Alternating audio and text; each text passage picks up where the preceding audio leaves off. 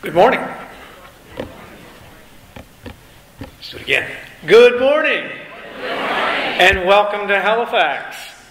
It's our pleasure to welcome you to Halifax and bring greetings to you from the Faculty of Dentistry and Dalhousie University. We are very proud to be a co sponsor of this remarkable conference and to be in the presence of many outstanding leaders in the field of restorative justice.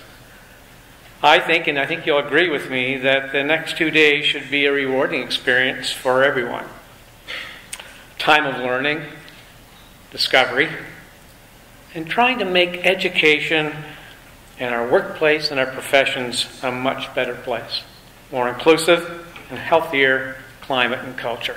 I think with that, I'll let Dr. Matthews finish our, our, our greetings. Thank you, Tom.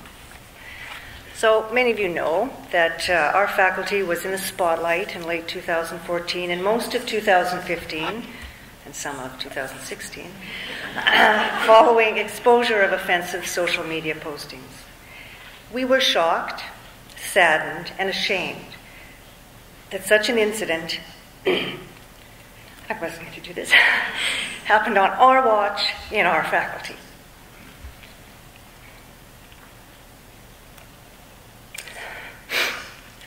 Managing our response to the scandal, thank you, was complicated by the multitude of voices with strong opinions on the right thing to do to and for those involved.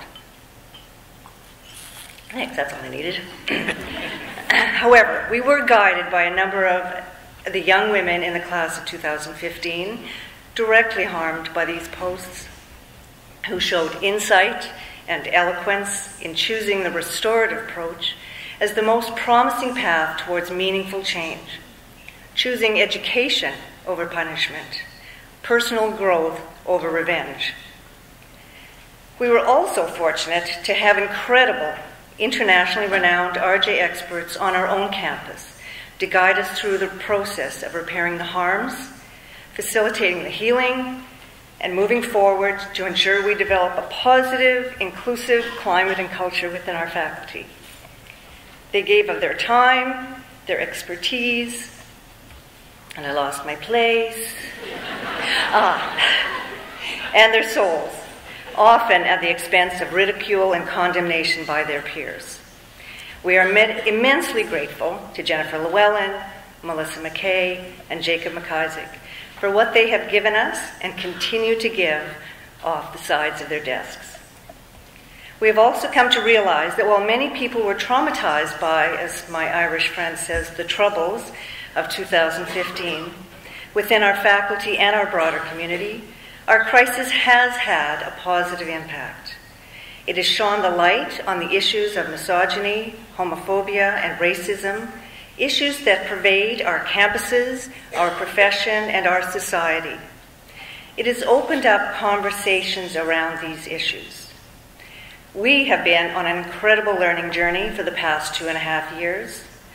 Participation in and support of this conference is part of our commitment to ongoing change.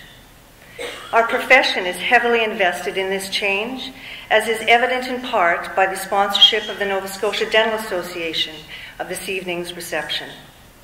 We are looking forward to learning more from this conference on how we can use the restorative processes. We welcome you on behalf of Dalhousie University and particularly the Faculty of Dentistry. Thank you. Thank you.